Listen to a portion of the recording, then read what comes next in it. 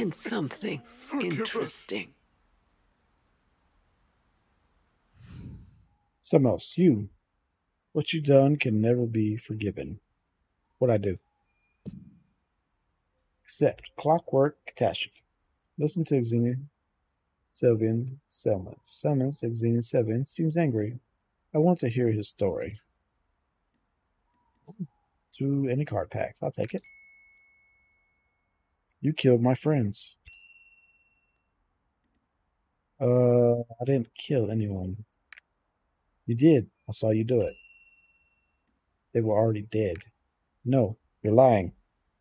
According to the results of my research, he he he, I can bring them back to life. And I'll prove it to you. Follow me. This way. Okay. Please, forgive us. Look, look. Let me introduce you to my friend Azareth. Do you understand now? Look, look what you've done. Is he truly alive? Of course he is. Can't you tell? See for yourself. You clearly have no intention to attack.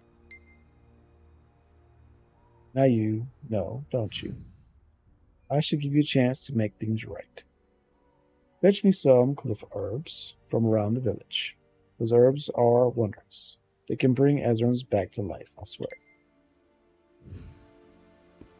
Sounds like a setup. Sounds like he's crazy.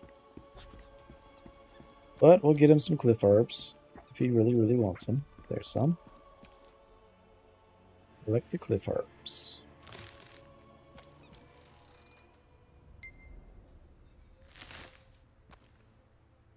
You collect them. No laggy.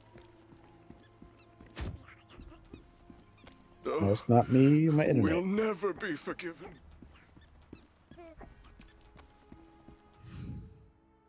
Give him this medicine, and we can go back. Stay strong, Ezra. Arr. Here's some medicine. Err. Err. Arr. Clockwork catastrophe is complete. Courage to any card packs. And we'll save them for later.